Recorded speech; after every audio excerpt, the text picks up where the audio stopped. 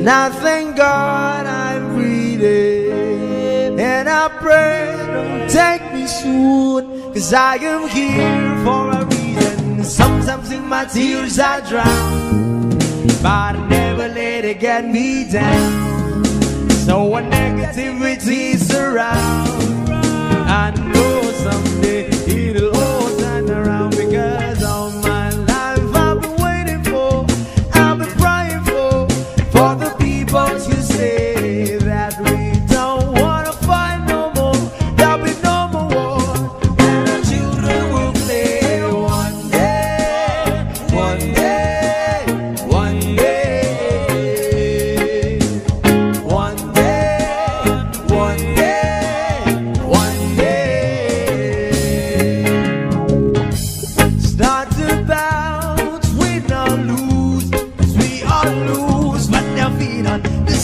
of the innocent, blood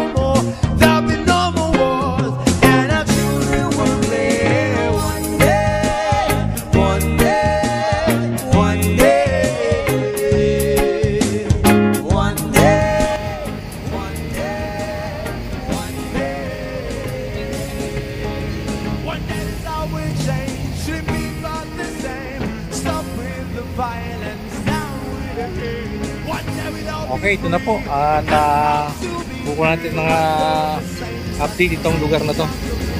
At kanina mga kababayan ay ah, yung mga bags na kulay black ay uh, pinuwanan nila dito at ah, yung may natira pang mga ilan-ilan ay dinala nila sa may ah, area ng ah, Remedios. Tingnan po natin dito kung ano po yung uh, so, nagkakaroon po ng ah, clearing dito eh. Bali, uh, ginagawa nila, naglilinis sila rito.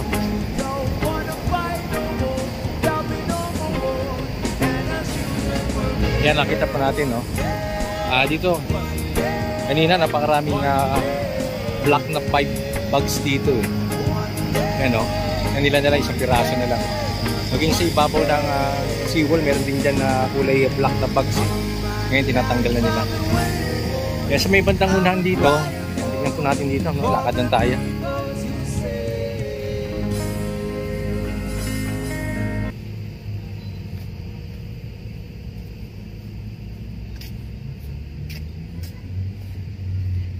Ito kagahapon ay eh, nakakalat itong mga buwangin na to eh. Nangyari, ayan nga, pinagkipuni-punan nila. At yung sa may bantang unahan doon, ayan yung mga ibang uh, buwangin na nakalatag sa mga baywalk kaya tinanggal na rin nila. At sa ngayon mga kababayan ay hindi na po gumagana, hindi na gumagalaw yung pinaka-back, pinaka-bulldozer. At sa aking pagkakalam tapos na no, yung kanilang uh, ginagawang uh, pag uh, pag-spread ng uh, dolomite sa may area na to.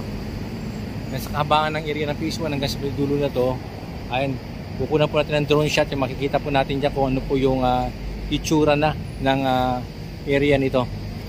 Nakita pa rin clear na clear na eh.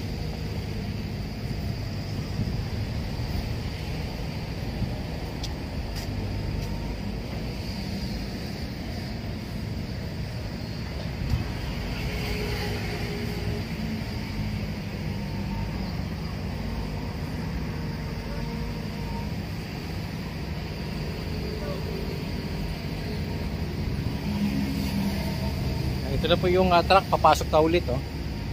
Kaya nagaling yung truck na yun sa itong uh, back dito sa may area ng Remedios eh.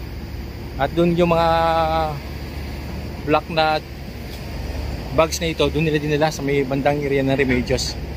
At uh, doon natin nilalagay muna at tingnan po natin doon. At susunod ng mga araw eh, titingnan po natin kung ano po yung uh, gagawin nila sa may black na yon na bags. Kung saan nila ilalatag yun. Ito, clear na. Unti-unti na ah, nagkakaroon ng clearing dito eh. Yan o. Dati may mga bato pa rito nakikita eh. Maraming bato rito eh.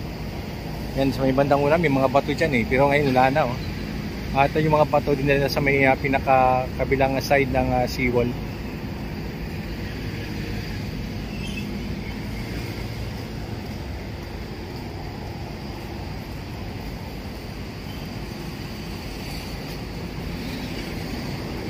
Yan. Ito na po yung mga truck ngayon dito, dito sa may labas na nila nakapark na rin. Hindi na pwedeng i-park na sa may loob. Kasi nga, yan, nag, uh, naglilinis na sila dyan. Malapit na mga babayan, talagang uh, malapit na malapit na, nakikita po natin malapit na malapit na yung uh, pagkatapos nitong uh, ginagawang rehabilitation sa may Manila Bay. At nagkakaroon na nga, tapos na yung, uh, yung, uh, ano, yung uh, area ng phase 1 and phase 2. Makita po na tapos na rin doon. Kaya nga nakatambay na lang dito yung pinaka-bulldozer. Wala na, hindi na ginagawa. Kasi nalatag niya na lahat, no? Yung mga dolomite sa may bandang unahan. Yan, sa palipad natin doon, makikita pa natin doon na clear na clear na talaga.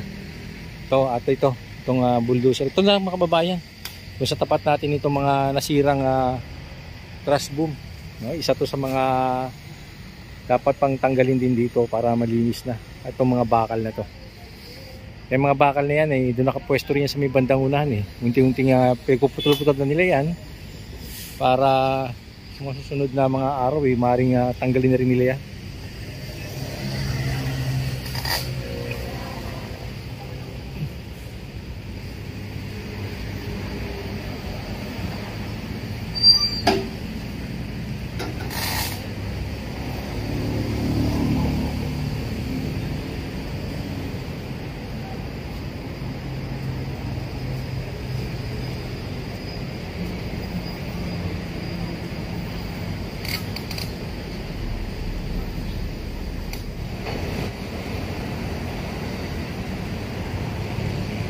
Ayan at uh, patong sa truck mga kababayan at maaaring uh, ito na unti-unti nilang uh, tinatanggal yung mga black na bags dito. Yan, uh, maaaring uh, kung saan nila ita-transfer ito. Oh, talagang uh, unti-unti na nagkakaroon ng clearing talaga dito mga kababayan. Makita natin talagang uh, unti-unti na alis na rito yung huling nakita natin dito yung mga batong tinanggal nila at yung bakal na pinagpuputol-putol nila Tinitnan ito naman mga kababayan yung mga black na bags dito, yung kanila na mga unting-unting uh, inaalis na. Ayan, talaga naman ano. At uh, clearing operation naman sila ngayon dito mga kababayan. Uh, matapos na kanilang uh, may latag yung mga dolomite sa may area ng 2. Ayan, kaya natang linisin to mga kababayan. Dapat talagang ayusin muna to. Kasi talagang uh, isa sa mga hindi maganda tingnan to pag sakaling bukas ang Dolomite Beach at Kaba naman nila Bay, itong mga nakatambak rito. Ayan. Yan yung mga bakal sa may bandang unahan, di ba? Ayan, may mga bags dito. Ayan, may mga bato pa sa may bandang unahan doon eh. Ayan no. Oh.